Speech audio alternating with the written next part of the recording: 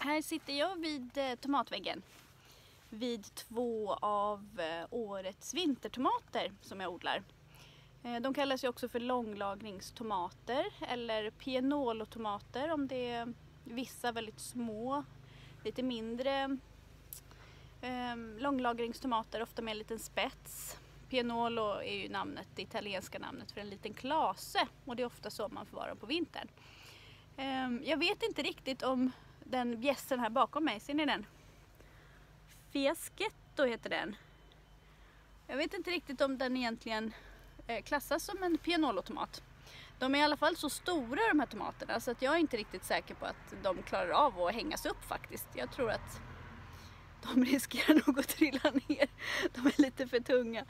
Ehm, men det verkar som att många tror att vintertomater alltid är högväxande och röda. Och så är inte fallet. Eh, en av mina absoluta favoriter smakmässigt heter Vesuvio Giallo. Den är i och för sig högväxande med potatisblad. Men den är gul och jättegod, både som färsk och som lagrad.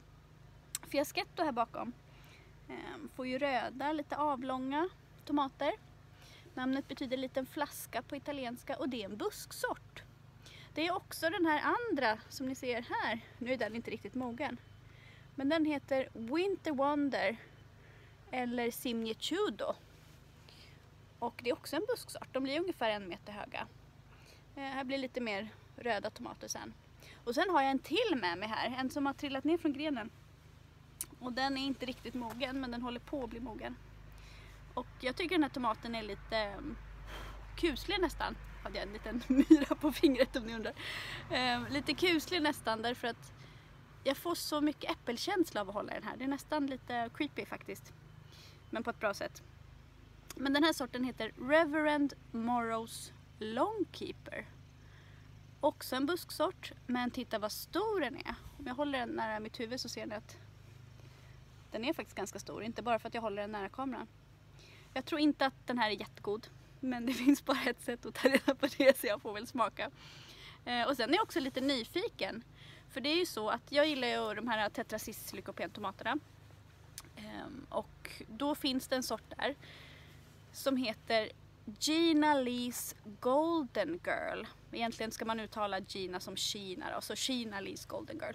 Och enligt då historien så ska hon ha gett några av de här Tetrasis lykopentomaterna till sin vän som hette just Reverend Morrow. Och jag undrar om det här är samma Reverend Morrow som finns med i båda, båda namnen och båda historierna. Om du vet något om det så får du jättegärna kontakta mig och berätta för mig. Eh, det finns en sortguide på trädgårdstrollet.se eh, med ännu fler vintersorter. Ehm, så där kan du botanisera och drömma lite om vad du ska odla nästa år kanske. För det finns så mycket mer än röda högväxande. Det finns gröna, det finns randiga, det finns gula, det finns det finns sådana som eh, kanske är orangea på utsidan och sen när du delar på dem så är de röda på insidan. Så det finns jättemycket snyggt och läckert att välja mellan. Så det svåraste är att välja. Det finns för mycket härligt att odla. Men någonstans måste man börja. Du kan ju börja med sortguiden. Lycka till, hej då!